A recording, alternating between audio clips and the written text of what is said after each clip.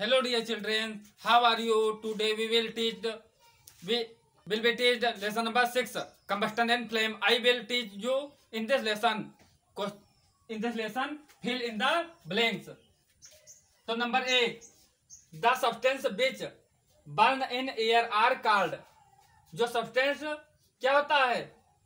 वायु में जलता है, उसको क्या कहते हैं? कंबस्टन क्या कहते हैं?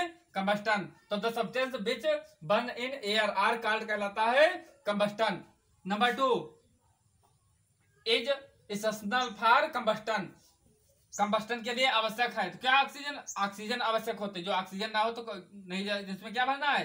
Oxygen number three a fuel which is cheap and high caloric value या calorific value is called an fuel.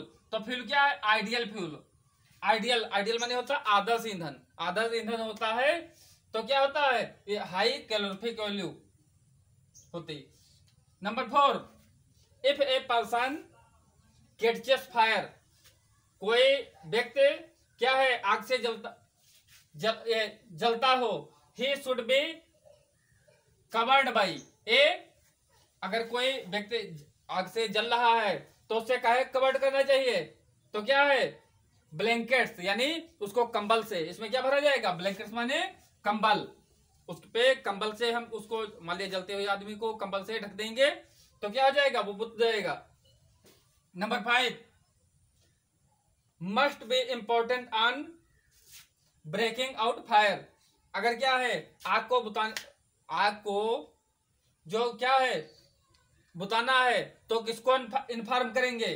तो किसको? फायर ब्रिग्रेड फायर ब्रिग्रेड इसमें क्या भरा जाएगा? फायर ब्रिग्रेड को इन्फॉर्म किया जाएगा। Natural gas and biogas are fuels तो क्या है? फोसियल फ्यूल इसमें और भी हम लिख सकते हैं। Mixture of carbon and hydrogen भी लिख सकते हैं। Thank you